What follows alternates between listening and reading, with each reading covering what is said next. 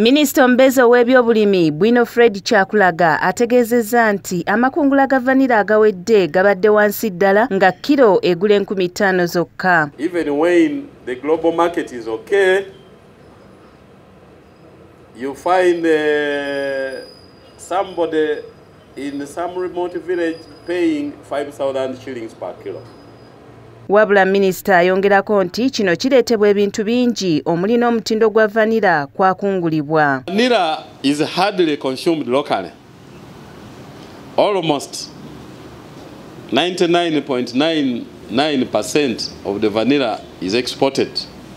So the main market for the vanilla growers in uganda is the external market.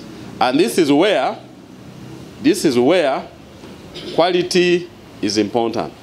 ono asabye abalimi obutakungula vanira atannatuuka kuba kimuviirako okugwa omutindo ku katale k'ensi yonna. Consistently not says that vanilla from a particular country is of a low quality.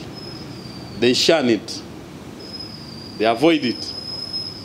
When they see that vanilla from uganda is consistently bad it has a low vanillin content then they avoid it kitegerekese nti vanira y'omu ku birime wano mu ggwanga ebiyingiza ssente eziwerako mu ggwanika ly'eggwanga nga buli lukungula gavumenti efuna obukadde bwa ddoola 18 era wano minisita waasinzidde n'asaba abalimi ba vanira okubeera bambega b'abalala okulemesa abo abamukukusa ne bamufulumya eggwanga. Olw'okubanga vanira avaamu ssente ne mu biseera nga bbeeyi yagwa abantu abantu abagala okufuna ssente ez'amangu bagezaako nnyo okwagala okubba vanira ono.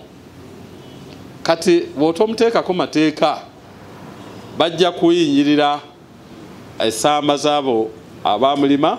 Most cases the farmers that are taken advantage of they are those that have done the harvesting before the declared dates gavumenti yakwongera okulondoola omutindo gwa vanira era gavumenti ekakasa nti amakungula aganaddako vanira wakugulibwa ku bbeeyi. Nkubiriza abalimi ba vanira mu uganda nti temuggwamu maanyi olw'okuba bbeeyi yaggwa mu sizoni ewedde.